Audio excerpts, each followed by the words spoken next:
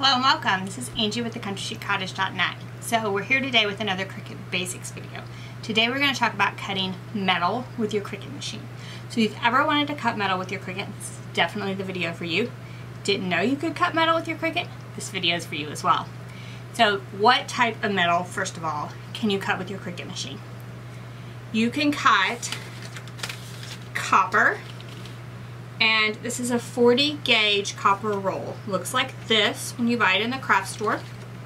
And it's a really thin copper material that is all rolled up. And this is what's recommended by Cricut for you to cut with your machine. Now, you can cut this with the Cricut Maker or the Cricut Explore Air 2 because it only uses the fine point blade. Now, I've also cut aluminum cans and things like that. So I'm going to do some trials here. I'm going to cut, this is a aluminum roll 38 gauge and it's actually silver on one side, gold on the other. So it's just like a painted aluminum roll. 38 gauge aluminum, so we're going to try that. And then I have a brass roll as well. Now this brass I think is about 38 to 36 gauge, but it's not indicated on the packaging. But same type of thing, like a thin metal on a roll. So we're going to try to cut all three and see what happens. But first, let's take a look at what you need to do before you cut. So how do you get this material from the roll actually onto the mat and how do you get it off once you cut it? So first you're going to need to cut some off of your roll. So if you were doing a big project, you could definitely cut like a 12 by 12 piece to cut on your machine. But I'm just going to do a few small samples. So I'm just going to cut a small piece off this roll. Now I'm using a pair of metal scissors. This will actually cut with regular scissors. I cannot guarantee, however, what it will do to your scissors when you cut it. So um, you might want to use a pair of scissors that use that are either old or specifically for cutting metal.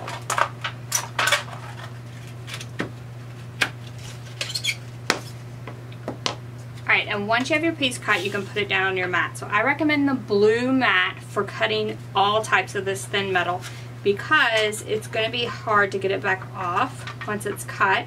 So the less stick you have, the better off you're going to be. And then you just want to make sure it's flat, straight, and put it down on your mat. Now to help with this, you can actually use a brayer. So some of the sheets I found especially towards the end of this roll, will be extremely curled up and hard to flatten down. So you can actually run your brayer across it just to make sure it's completely flat. And now we can run this through our Cricut machine. And actually, you would think that the star wheels that are on the Cricut machine would damage the metal because it's soft, like a soft copper material, but they will not. So you don't even have to move the star wheels or anything pick metal and beside it it says 40 gauge copper and then cut the copper on your machine. Then when you're done cutting, a couple different ways to get the material back off. You can flip it over and peel your mat back from the copper. If you don't have success with this, the other way that I've found that's been fairly successful is to kind of use the spatula and get under the material and lift it up that way. So I found both ways successful, which either way works for you and what you're cutting, but you can use whichever way to get your material off the mat. Do not just pull it up from the front of the mat because this material is so thin and delicate that it will kind of roll up on you and it'll ruin your project after it's cut, so do not do that. Alright, so how about some results? So this is that 40 gauge copper and I just cut a circle out of it. I have cut more complicated things out of the copper and I'll leave some links for those projects in the description for this video so you can check those out. Then this is the 38 gauge aluminum and I cut it on the copper setting, so the metal setting. There is an aluminum foil setting in Cricut Design Space. I've never had luck cutting aluminum foil or cutting with that setting anything like this.